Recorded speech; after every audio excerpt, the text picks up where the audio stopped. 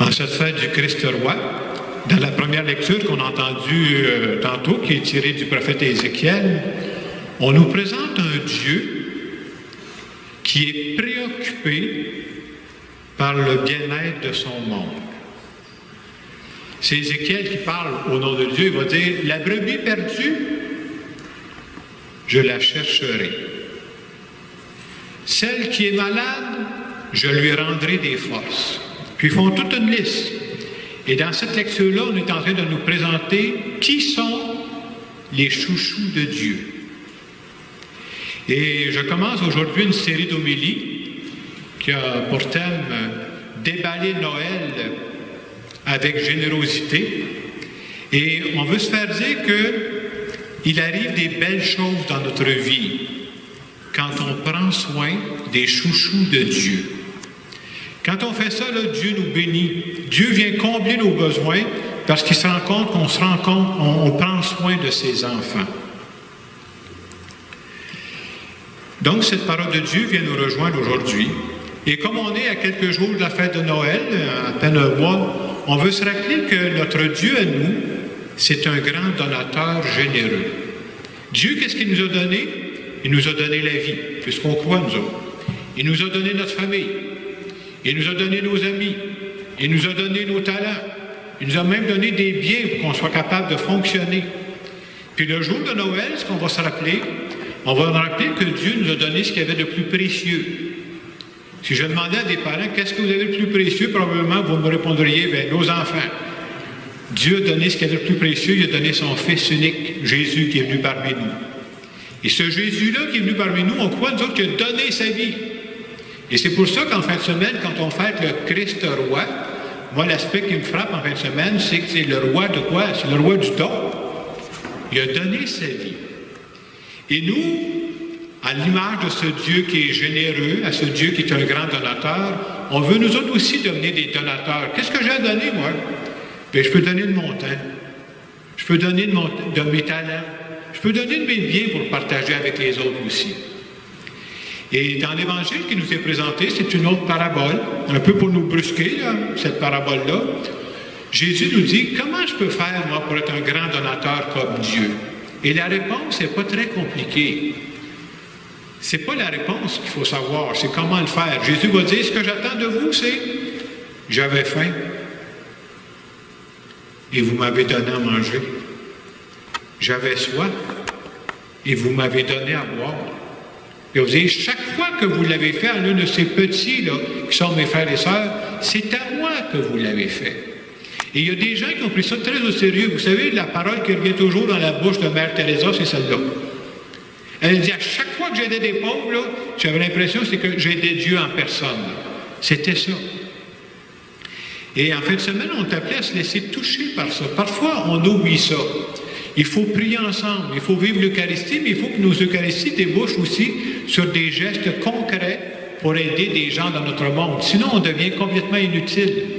Et cette semaine, je faisais des lectures, et parfois, quand on lit ou quand on entend certaines personnes, il y a des passages qui peuvent nous toucher plus que d'autres. Et cette semaine, il y a un passage qui m'a beaucoup touché, et je vous partage ça, juste le petit bout. Dans ce que j'étais en train de lire, c'est une vraie situation. C'est un jeune pasteur qui commençait dans une église et qui demande conseil à un pasteur qui est expérimenté. Puis le jeune pasteur qui commence, il dit J'aimerais ça qu'il y ait de la vie dans mon église. J'aimerais ça que ce soit une église vivante, comme on dit. Là. Tu aurais-tu un conseil à me donner pour que cette église-là, il y ait de la vie dedans? Et voici ce qu'il a répondu. C'est le pasteur expérimenté, là. Il répond Trouve des pauvres Donne aux pauvres. Mets ton cœur et ta passion pour aider des gens qui ne pourront jamais te le rendre. Et après avoir dit ça, il a pris quelques secondes puis a ajouté ceci. Et si tu fais ça, regarde bien comment Dieu te bénira. Moi, ça m'a interpellé parce que je me suis dit, comme Église vivante, J'aimerais ça qu'on devienne de plus en plus sensible aux pauvres qu'il y a dans notre milieu. Et vous savez, je continue à lire ce qu'il expliquait dans le livre, c'est très facile. On dit, c'est tellement facile de s'en laver les mains. Vous savez ce qu'on dit habituellement pour ne pas mettre ça en pratique? Bien, le gouvernement va s'en occuper. Ça ne nous regarde pas, ça. Les pauvres. C'est au gouvernement à voir ça. Ou d'autres fois, on va dire, vous savez, il y a des services, des groupes communautaires, et c'est vrai. Qu'elles voir les groupes communautaires? Oui, puis nous autres, ça veut dire qu'on n'a rien à faire là-dedans? Oui, cette parole de Dieu, elle vient nous interpeller. Hein? Il faudrait que les gens qui soient mal pris, c'est sûr qu'on ne peut pas tout faire. Hein? Les gens vont dire on a peu de ressources. C'est vrai qu'on a de peu de ressources, puis les besoins sont immenses. Et je vous annonce, sans, je n'ai pas peur de me tromper, dans les mois qui viennent, là, en 2021, il va y avoir d'immenses besoins. Parce que ce qui s'en vient, là, il y a des gens qui vont rencontrer un grand niveau de pauvreté. Et moi, ça m'interpelle, ça.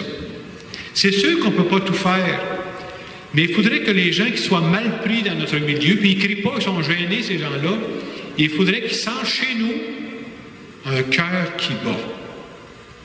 Si on fait juste dire, bah ouais, arrière, nous autres, ça ne nous, regarde pas, je pense qu'on passe complètement à côté de l'Évangile. C'est sûr qu'on pourrait dire, il y a des gens qui me disent, ah, fais attention, il y a des profiteurs là-dedans. Est-ce qu'il y a des profiteurs là-dedans? Ben oui, il y en a.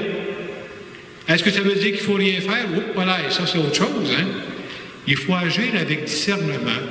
Mais je pense qu'il faut se laisser toucher le cœur par des gens qui sont mal pris et qui ont besoin de nous. Moi, en tout cas, c'est vraiment cette parole-là qui me touche en fin de semaine. Je voudrais qu'on se laisse toucher et qu'on regarde qu'est-ce qu'on peut faire pour aider ces gens-là. On ne peut pas tout faire, mais ils doivent sentir qu'on est là. Si Jésus-Christ avait dit, ah, mais dans toutes les personnes qui sont mal prises à son époque, il y avait des profiteurs. Est-ce qu'il y avait des profiteurs à cette époque-là? Ben oui, il y en avait. Et si Jésus avait dit, ben moi, je ne m'occupe pas de ces gens-là parce qu'il y a quelques profiteurs, Jésus aurait passé à côté de sa mission. Et si nous, on se ferme le cœur, si on se dit que ça ne nous regarde pas, comme chrétiens, on va passer à côté de notre mission. On peut faire des belles prières, on peut vivre l'Eucharistie, mais ici, en sortant de l'Église, on n'a pas ce souci-là d'aider les gens. Il manque quelque chose d'important dans notre foi. Vous voyez, cette parabole-là, elle est très exigeante, hein? et je crois que c'est vrai. Et pour répondre à cette parabole, j'ai pensé, moi, j'aurais deux choses. Un des gestes concrets que j'aimerais vous proposer qu'on va vivre d'ici Noël, puis j'ai un projet que je caresse pour l'année 2021. On va finir celle-là pour commencer. Première chose qu'on va faire, à partir de la semaine prochaine, quand vous allez venir dans l'église, ici, à l'arrière de l'église, ça va être vrai pour nos trois églises, on va avoir un panier d'épicerie. Vous savez, on arrive à la période, ce qu'on appelle à Saint-Hyacinthe, le grand partage masculin, ce qu'on appelle habituellement la guignolée. Vous savez que cette année, on ne pourra pas faire la guignolée comme d'habitude. Les gens n'iront pas frapper aux portes. Vous savez pourquoi? Avec la COVID, on fait attention, on, on coupe les contacts. Est-ce que ça veut dire qu'il n'y aura pas de pauvres cette année? Oui, il y aura des pauvres. Alors, ce que je vais faire, c'est que on va mettre à l'arrière de l'église, euh, il y aura un panier d'épicerie, puis il y aura des boîtes à côté. Je vous, demanderai d'apporter des denrées non périssables. Nous, on va garder ça, on va les accumuler, on ira les porter de temps en temps Moisson Mascoutaine, on va faire ça jusqu'à Noël. Puis ces gens-là, ça va être pour aider des familles pauvres. Ça montrera qu'on ne fait pas juste lire l'Évangile, qu'on ne fait pas juste prier à genoux, qu'on pose des gestes pour aider ces gens-là. Deuxièmement, le projet que je porte, c'est le suivant. Moi, je crois à ça, cette parole-là, c'est-à-dire, si on s'occupe des pauvres, Dieu va s'occuper de nous. Alors, j'aimerais ça pendant l'année 2021, je voudrais me mettre avec quelques personnes pour voir si on ne pourrait pas partir d'un projet que j'appellerais un service qui s'appellerait dépannage pour les pauvres. Quelle est la forme que ça peut prendre? On aura déterminé ça. Parce que je pense que si on fait ça, Dieu va bénir notre Église aussi. Dieu va dire, ces gens-là, ils ne font pas juste prier, ils ne font pas juste dire des belles paroles, mais ils agissent. Alors, je vous propose de ce projet-là, je vous invite à prier pour ça, qu'on trouve des façons de mettre en pratique cette parole de Dieu. En terminant cette homélie, j'aimerais faire une prière en notre nom. Je vous invite à vous recueillir.